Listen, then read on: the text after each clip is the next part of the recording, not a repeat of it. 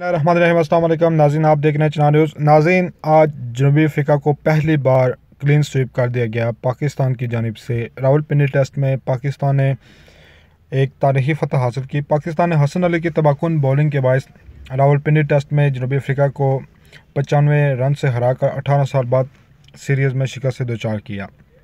रावलपिंडी में खेले गए दो मैचों की सीरीज़ के दूसरे टेस्ट की पहली इनिंग्स में पाकिस्तान ने दो सौ बहत्तर रन बनाए, जिसके जवाब में मेहमान टीम 201 रन पर आउट हुई। कौमी टीम दूसरी इनिंग्स में दो सौ अठावन रन पर आउट हुई और जनूबी अफ्रीका को जीत के लिए तीन सौ सत्तर रन का हदफ दिया था, जिसके जवाब में मेहमान टीम दो सौ चौहत्तर रन ही बना सकी। दूसरे टेस्ट के आखिरी रोज़ इब्तदाई ओवर्स में ही हसन अली ने पाकिस्तान को दो कामयाबियाँ दिलवाई। वेंडर डॉटसन को 48 और फाफ डप्लेसी पाँच रन पर आउट हुए। ताहम, एडम मरक्रम और डम्बा बवामा ने ज़िम्मेदारी का मुजाहरा करते हुए 106 रन की शराखत दारी कायम की। मार्क्रम ने शानदार सेंचुरी स्कोर की। ताहम, नई गेंद मिलते ही हसन अली ने मार्क्रम को 108 रन पर पवेलियन भेज दिया और अगले ही गेंद पर कप्तान क्विंटन डिकाक को भी आउट कर दिया, जो मैच की टर्निंग पॉइंट साबित हुआ।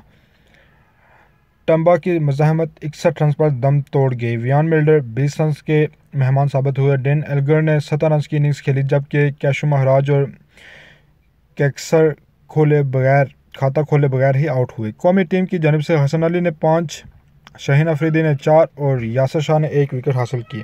हसन अली ने मजमू तौर पर टेस्ट में दस विकेटें हासिल की।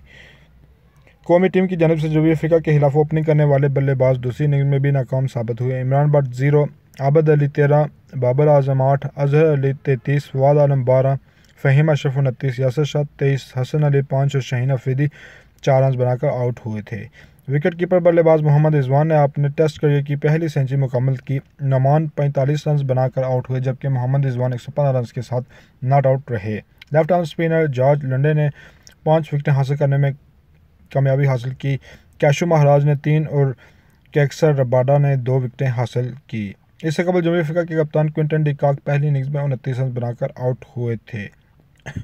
पाकिस्तानी शायकीन की जानब से इस अजीम कामयाबी पर कप्तान बाबर आज़म और पूरी टीम को मुबारकबाद देने का सिलसिला चल पड़ा है, क्योंकि पाकिस्तान ने पहली बार तारीखी कामयाबी और क्लीन स्विप किया है जनूबी अफ्रीका को।